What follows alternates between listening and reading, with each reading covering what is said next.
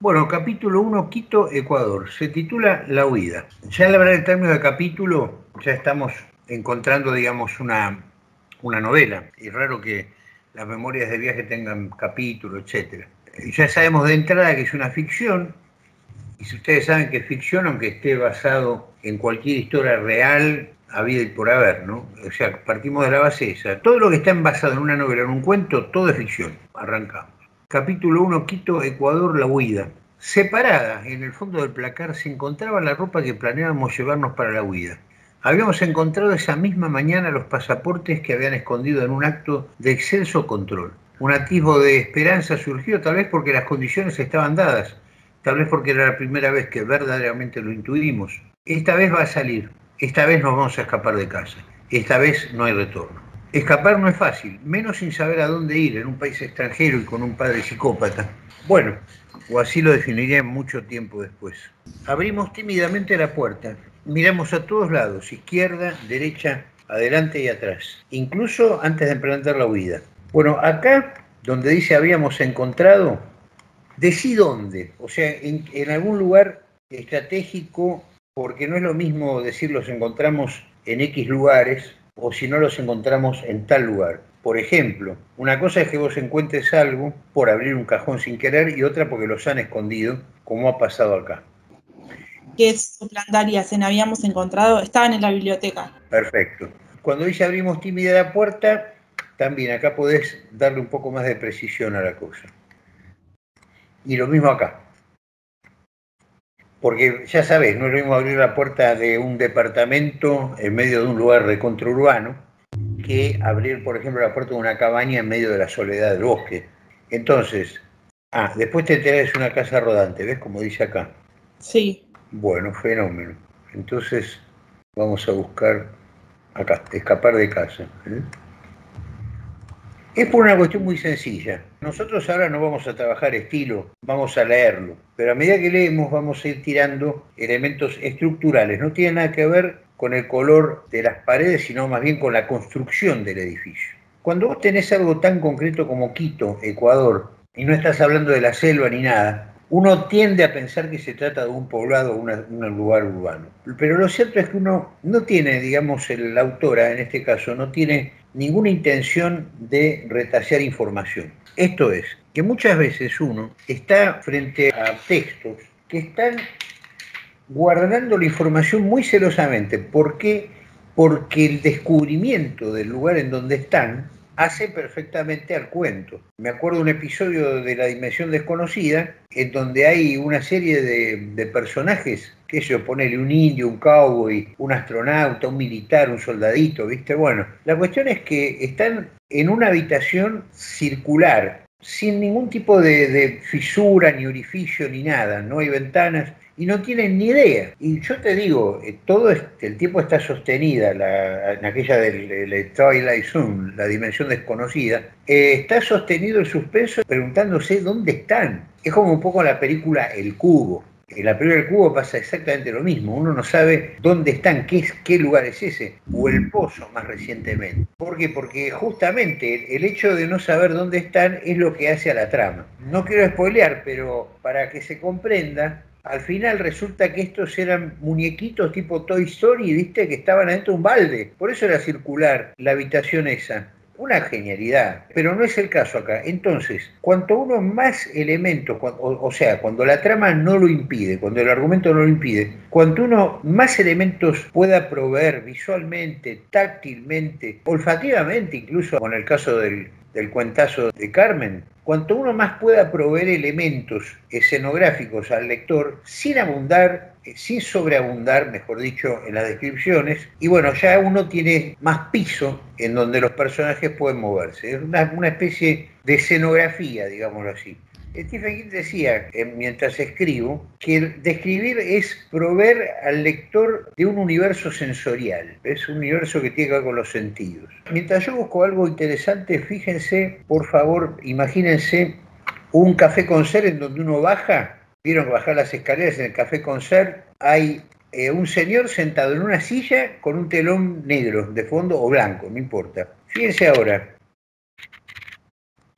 Estamos hablando de la segunda ópera del ciclo del anillo. del maestro Richard Wagner. Fíjense lo que es esta escenografía en comparación, miren lo que es esta maravilla. Esto es una escenografía para la ópera La Valquiria de 1870 por ahí. Es formidable porque uno se da cuenta, digamos, a ver qué año es. Uno se da cuenta del interés 1876. ¿ves? Fíjense, miren lo que es esto. Miren acá, por ejemplo, el banco, cómo está comido por el árbol, ¿no? Miren ese detalle. Todo esto es una escenografía real para, para un teatro. Fíjate, por ejemplo, acá esta alfombra de piel de oso que aparece acá. Mira, los bancos rústicos, el caldero con el, con el hornillo acá. Es un lugar que te da ganas de estar ahí adentro, de ir a vivir ahí. Así que bueno, eso es justamente, en contraposición tenés el café concert, digamos, con el tipo sentado en la silla y contando, ¿no? Contando algo, o tocando algún instrumento, o haciendo un stand-up, como se dice ahora, lo que nosotros llamamos monólogo. Bueno, entonces, acá está el lugar, repasemos, el lugar en donde encontraron. Pensá que es el primer momento de la novela, es el anzuelo que tenés que poner en la boca del amable lector. ¿Dónde fue encontrado? Podés incluso está bien, la biblioteca, pero una biblioteca es grande, de repente encontrás entre, qué sé yo, estaba entre los, entre los cuatro tomos de, de Gerald Dager, del Cuarteto de Alejandría, ponele, qué sé yo, o, los tomos de Proust insoportables de En busca del tiempo recobrado, En busca del tiempo perdido. Ponele, o sea, eso le da mucha realidad, son libros reales que apuntalan justamente la escenografía y por lo tanto la verosimilitud. Bueno, escapar de casa sí, en sentido figurado sí, de casa. Y después aclaramos que se trata, lo que di recién, una casa rodante. Acá está. Entonces abrimos tímidamente la puerta. La calle apestaba a muertos, qué sé yo. Miramos a todo lado, izquierda, derecha, adelante y atrás. Incluso antes de emprender la huida, escaneamos el parque. Ah, le cuento una cosa a Aitor, que esto no se lo dije mientras hoy estuvimos en una charla muy amable, estuvimos hablando largamente. Pero mm, me olvidé de comentarte que cuando uno tiene alguna pregunta para hacer o, algo, o, yo le hago una pregunta, ponen en on el micrófono inmediatamente y, y preguntan. Y si nadie dice nada, yo asumo que está todo, todo absolutamente comprendido. Abrimos tímidamente la puerta, miramos a todos los de izquierda, derecha, adelante y atrás. Incluso antes de emprender la huida, escaneamos el parque completo desde la ventana de la casa rodante de 12 metros, nuestro último hogar familiar. Empezamos a correr. Enseguida nos detenemos. Correr llamaría la atención, nos reconocerían al instante. Caminamos rápido. Nuestros nervios nos prohíben ir a paso lento. El parque que atravesamos, ¿ves? Ahí está. Estas cosas tienen que ir a la cabeza, es lo que decíamos recién. Se encuentra en el corazón de Quito, capital de Ecuador. No muy extenso el trayecto, pero para mí se hizo eterno. Nunca, jamás en mis 19 años creí haber caminado tanto. El temor, el temor excesivo, me flaquea el cuerpo completo. Siento un alivio temporal al cruzar la calle y entremezclarme con los transeúntes. Alivio que se disipa al instante cuando caigo en cuenta de que, aún en medio de tanta multitud, podríamos cruzarlos a ellos, ¿no? No los transeúntes, sino, mira, vamos a ponerlo así, a ellos. Me agarró el lenguaje inclusivo que lo parió. A ellos. Ahí está, ¿ves? Con esta itálica le da todo el suspenso, todo el misterio, y uno se pregunta quiénes serán ellos. Hasta ahora apareció, a ver, creo que ya apareció. Ahí está, padres y ahí está. No es que tuviese temor de cruzarme a mis propios padres, de quien es suyo, sino que el temor es a lo que pueda suceder después. Muy bueno. Se me revolvió el estómago de solo pensar en aquella vez que casi escapamos, pero se enteraron y regalaron la paliza a nuestras vidas. Y después tuvimos que convivir días completos con sus malos tratos y nuestra culpabilidad, porque el psicópata es así. Te hace sentir culpable a vos, aunque tu deseo sea solo el de ser libre y el de por una vez en la vida ser feliz. Caminamos hasta el trolebús. Me siento devastada. Le rezo a todos los santos existentes y a los que no existen también. Intento tranquilizarme, pero no puedo. Trato de que al menos no se noten mis gestos. Para este momento desconfío de todos, incluso del pobre trabajador público que nos cobra los boletos. Él sabrá que vivimos, lo sabrá ya la policía. Intentamos pasar desapercibidos, pero nos resulta imposible. Llevamos pocas pertenencias, pero nuestro evidente aspecto de extranjeros, sumado a que Fabricio viaja con una tabla de surf en una ciudad ubicada a 2.700 metros sobre el nivel del mar, ¿no? Nos convierte en un blanco fácil. Unos 40 minutos después llegamos al centro histórico. Nos establecemos en la plaza principal y llamamos a Sol, una argentina que habíamos conocido días atrás.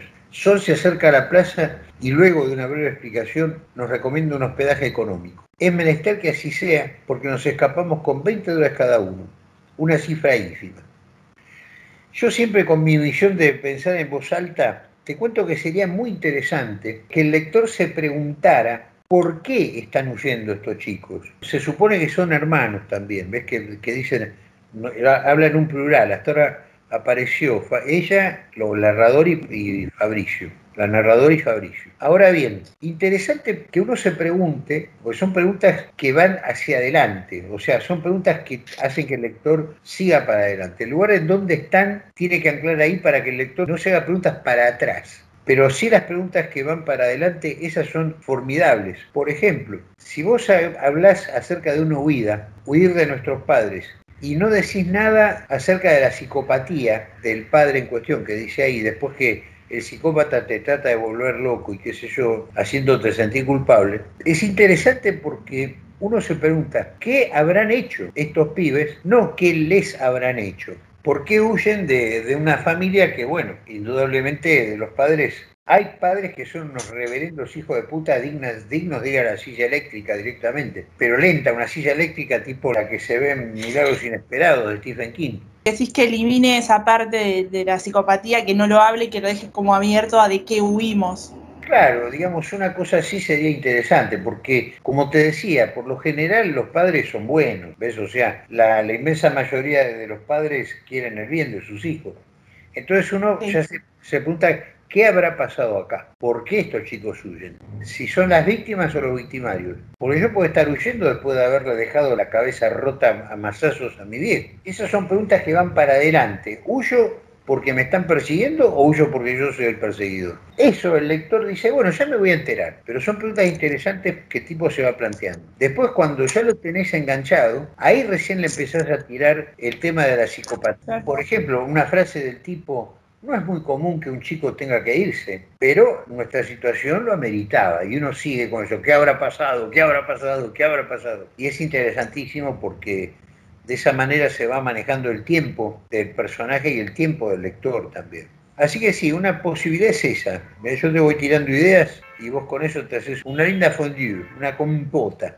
Entonces, bueno, seguimos leyendo. Sol se acerca a la plaza y luego de una breve explicación nos recomienda un hospedaje económico. Es menester que así sea, porque nos escapamos con 20 dólares cada uno.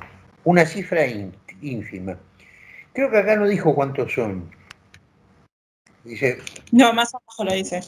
Ahí está, bueno. Es, está bien, 20 dólares cada uno. Por ejemplo, eh, si vos decís entre los tres no juntamos ni para un hotel o entre los cuatro, ¿viste? Lo que sea. Ya ubicados, el lector se va formando una idea ya ubicados en la oscura habitación que nos resultó relativamente económica, pero que luego nos, haría padecer situaciones desagradables, caigo en cuenta de la situación. No muestres tanto las cartas acá. No, no voy a ahondar en eso, pero o sea, se lo puedo eliminar de todas formas. Entonces hay que sacarlo. Pensarlo ah, porque es, interesante. Si vas a ahondar en esta situación, yo te voy a marcar así, espera. En el caso de que no va, no va, se va. Pero en el caso de que se te ocurra que bien podrías poner alguna situación así, ya ubicados en la oscura habitación, que nos resultó relativamente económica, me dije que, bueno, por fin un respiro. No sabía que estaba muy equivocada. Muy pronto las cosas iban a dar de un modo realmente terrible. Entonces, bueno, el lector dice, wow, ¿qué pasó acá? Sigo adelante. Sigo adelante leyendo, dice el lector, y sigo ya adelante ahora. Eh, claro, o sea, se ubican, que caigo en cuenta de la situación porque, ojo, si vos esto no lo eliminás, o sea, si lo pensás y me decís, no, Marci, mira, decidí no contar nada de eso, bueno, acá queda esto, si no se elimina, quedaría como un qué, como un cabo suelto. Y de eso hay que cuidarse. No es lo mismo tirar, acuérdense aquello que dice que el buen narrador deja más preguntas que respuestas en el camino. Esto que está acá no está dentro de ese orden, ¿eh? ojo. Una cosa es una pregunta que a propósito uno deja sin responder para que el lector vaya componiendo él solo la novela, y otra muy distinta cuando vos decís, mira, te voy a dar una información, pero no te la voy a dar. No, eso es otra cosa. Ahí estamos hablando de cabo suelto. La novela se banca toda, ¿viste? Es como Lassie, es más buena que Lassie. La novela, que Lassie y encima Lassie atada. La novela se banca, pobrecita, se banca todo, menos este tipo de cosas. Las preguntas que van para atrás los cambios de tiempo que el sábado, festejando los primeros mil programas del taller de corte y corrección, ¿qué me dicen? Mil programas, eh, vamos a hacer un especial sobre los tiempos, los tiempos en la novela y en el cuento del paso. Y la otra que no se banca son justamente los, los cabos sueltos. Ya ubicados en la oscura habitación que nos resultó relativamente económica, pero que luego nos haría padecer situaciones desagradables, cae en cuenta de la situación. Acabamos de escaparnos de casa con dos hermanos en un país extranjero y con solo una mochila cada uno. Para este momento tengo una sola certeza. Nuestros padres ya se enteraron de que huimos y estarían haciendo lo imposible para encontrarnos. Y si todo eso no fuese suficiente, mi hermana más chica, Ornela, es menor de edad. Debo admitir que mi estómago para este momento se revuelve entre los nervios del temor y la alegría. Por momentos no sé bien cómo sentirme. Una, a los 19 años, no está preparada para la situación. Tampoco es momento de analizar las emociones, sino más bien de afrontar la situación. Le voy a mostrar algo que a lo mejor ya todos descubrieron, pero es algo que le da una impronta de realidad impresionante. Lari está trabajando con un pretérito indefinido, pero también con qué tiempo. A ver si me lo dicen ustedes solos el, ojo, el que vaya a responder, acuérdese poner en un el micrófono. Y ustedes, querida audiencia, ahí también pregúntense. Eh, ¿Puede ser que sea presente, es menor de edad? Exactamente, presente inminente. Nos convierte en un, nos establecemos en la plaza principal, nos recomienda. No dice yo con la escuela que nos resulta relativamente económica, es menor de edad, es un presente habitual. Por lo no sé bien cómo sentirme, una a los 19 años está preparada también la situación. Así que ese ir y venir entre el pretérito indefinido y el presente inminente es interesantísimo, porque hay más presente que pasado. ¿eh? Ojo, atenti, estoy revisando, se encuentra, siento un alivio.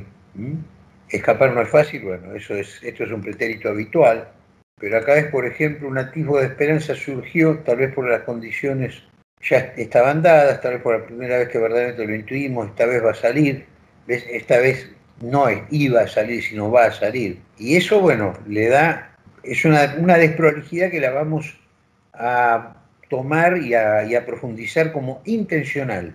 Ustedes recuerdan, hay, dos clases básicamente de presente, que es uno, el presente de crónica, el presente histórico, el presente habitual, por ejemplo, las cosas que uno hace, que suele hacer, y otra es cuando vos decís concretamente el sacerdote alza la hostia consagrada, eh, nos mira y nos dice tal cosa, bueno, eso es presente inminente. Debo admitir que mi estómago para este momento se revuelve entre los nervios, el temor y la alegría. Por momentos no sé bien cómo sentirme. Una a los 19 años no está preparada para tamaña situación. Tampoco es momento de analizar las emociones, sino más bien de afrontar la situación. Sabemos que no podemos ir a trabajar al Parque Foch lugar que nos habían recomendado por sus buenas propinas, porque ellos nos encontrarían. Entre los pocos caminos que tenemos a Fabricio se le ocurre llamar a Mariano. Mariano es una buena posibilidad, está peleado con nuestros viejos, está lejos y es buena persona.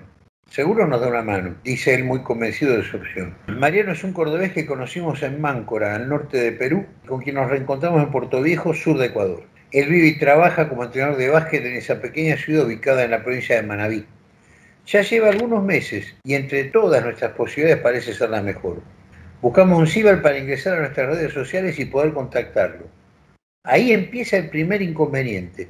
Fabricio, al intentar ingresar en su Facebook, se da cuenta de que se lo han hackeado. Fíjate, el tiempo correcto es este. Fabricio, al intentar ingresar en su Facebook, se da cuenta de que se lo han hackeado. Esto cuando trabajás con el pretérito inminente, el perfecto pasa a este compuesto. Fíjate si dijéramos acá, al intentar ingresar en su Facebook, Fabricio se dio cuenta de que se lo habían hackeado. ¿Ves? Con el pretérito sí, ningún problema. Acuérdate, tenés el pretérito vendría a ser un pasadito y el pretérito perfecto hacia atrás un pasadote. Como vos tenés un, un presente, se da cuenta el tiempo que está antes es un pasadito medio raro, no es el habían, ¿lo ves, no?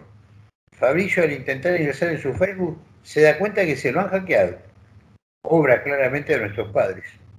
Logramos recuperar la cuenta, encontramos el teléfono de Mariano y enseguida lo llamamos. Mariano, espera, te voy a hacer un regalito acá. Primero le vamos a sacar esta carajada, mira. Numeración y viñeta afuera. Ninguna. Porque si no, te lo va a poner cada vez, cada vez que hagas un enter te lo va a enchufar. Y acá formato. Ahí está, listo. Bueno, ¿cuál es el regalo que te iba a hacer? Mira. Ay, la puta que lo parió, qué lástima.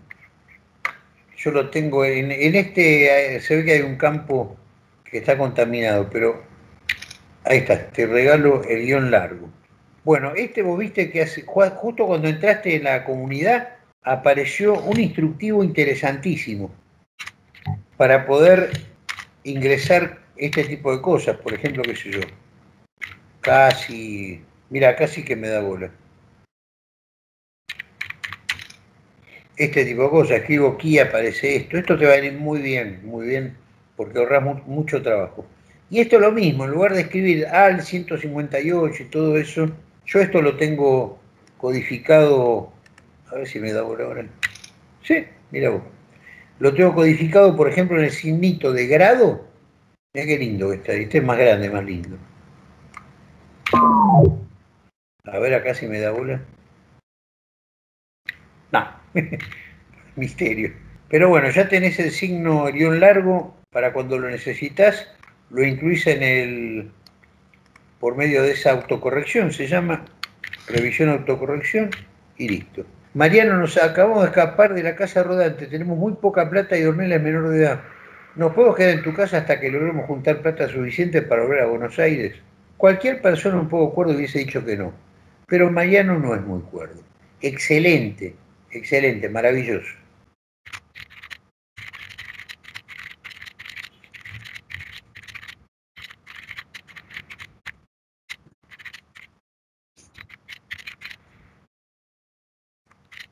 Esto es siniestro, mira.